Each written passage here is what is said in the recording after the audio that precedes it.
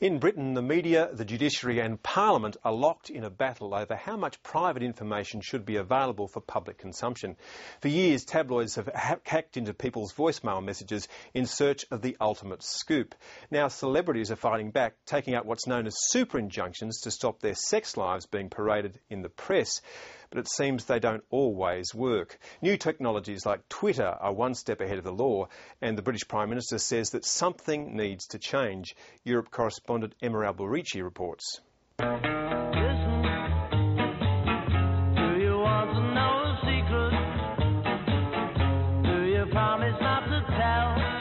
The British press have a long and proud tradition of revealing secrets about the private lives of public figures.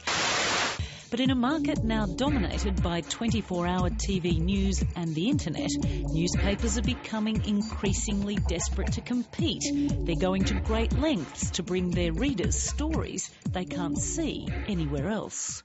I think a healthy democracy should have a, a healthy media. And that does mean a aggressive, investigative, sceptical media. But it doesn't mean a media that's effectively deciding that whilst in theory supporting the rule of law, it should be allowed to break the law. And two fake messages. Evidence of widespread phone hacking at Rupert Murdoch's News of the World has already seen two people jailed and three others arrested. The newspapers have been involved in another form of criminal activity. They've breached injunctions. But so far, no one has been prosecuted. BBC presenter Andrew Marr is one of the many who've been granted super injunctions. He wanted to suppress reports of an affair with a fellow journalist. The man who became known as Fred the Shred, the former chief executive of the Royal Bank of Scotland, also took out a court order to have his affair with a colleague kept secret. But the most famous and now infamous of the celebrity super injunctions was obtained by footballer Ryan Giggs. Well, human beings are quite interested in sex and sex sells, but that at the same time doesn't mean that it's necessarily that much of an issue. These stories actually only tend to be important to those people relatively close to them, and they're today's newspaper, tomorrow's chip paper. But but they have got a bit of a point, haven't they, some of these celebrities, that it's really no one's business what they're doing. It, nobody has a right to know, but people do have a right to tell the truth. And, you know, human beings gossip about each other. The judges in England have recently said that you should go to jail for jo- gossiping. I don't think that's true. There is no specific privacy law here in the UK. So instead, people have resorted to asking the courts for injunctions to stop their private or confidential information making it into the media. A super injunction prevents people not only from reporting the story, but it gags them from reporting the fact that the injunction itself even exists. It's good to see Ryan Giggs here. Manchester United star player Ryan Giggs wanted details of his affair with Big Brother star Imogen Thomas kept private. He argued in court that she'd been blackmailing him. But no sooner did Ryan Giggs get his gagging order than Twitter users told the world how he'd cheated on his wife. Ryan Giggs is suing Twitter, said one. I can't imagine why. I think there's a question of reality, isn't there? I mean, I think it's improbable that uh, the English High Courts can stop the World Wide Web or, or other legal jurisdictions. I, I think people sometimes have to, to bow to practicality. Ryan Giggs' super injunction applied only in England, which didn't stop the Scottish Herald plastering his picture all over the front page. By the time the Giggs scandal was published in Scotland, an estimated 75,000 people had already read about it on Twitter. Mr Speaker, um, with about 75,000 people having named Ryan Giggs on Twitter, it's obviously impracticable to imprison them all.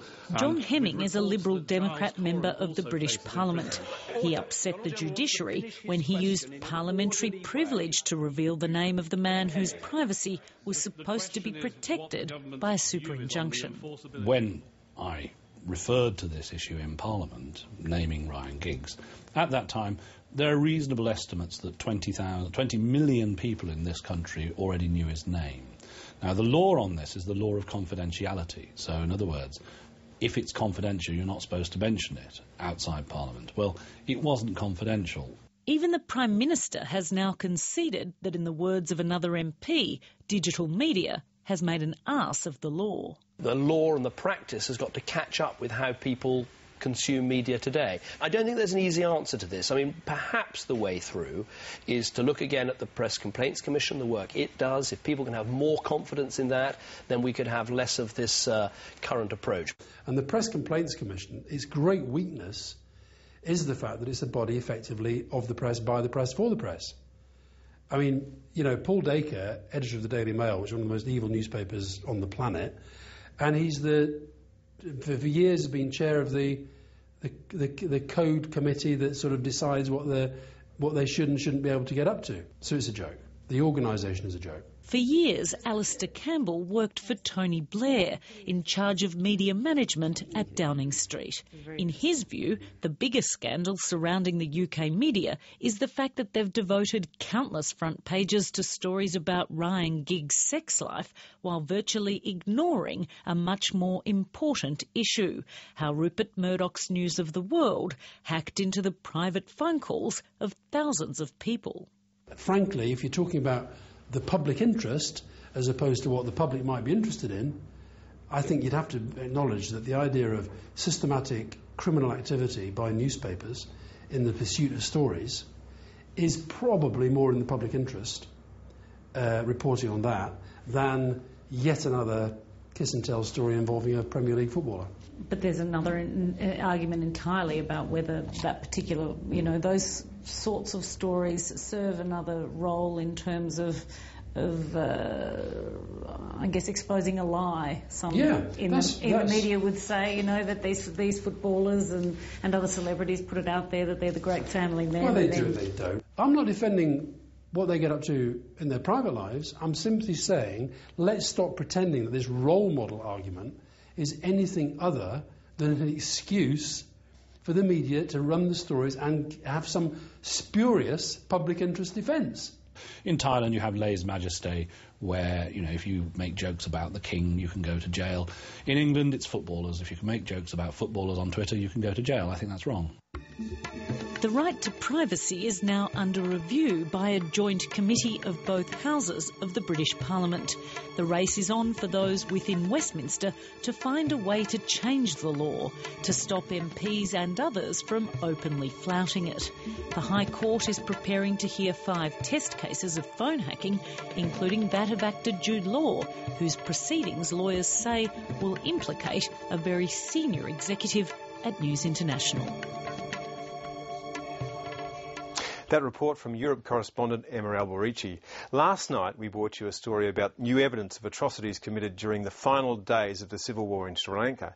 Today a spokesman for the foreign minister said that the images obtained by 730 were horrific and that Australia urges the Sri Lankan government to respond to the allegations and to move actively towards reconciliation and dialogue. That's the program for tonight. I'm off to the Parliamentary Press Gallery's midwinter ball, but I promise we'll be back at the same time tomorrow. For now, good night.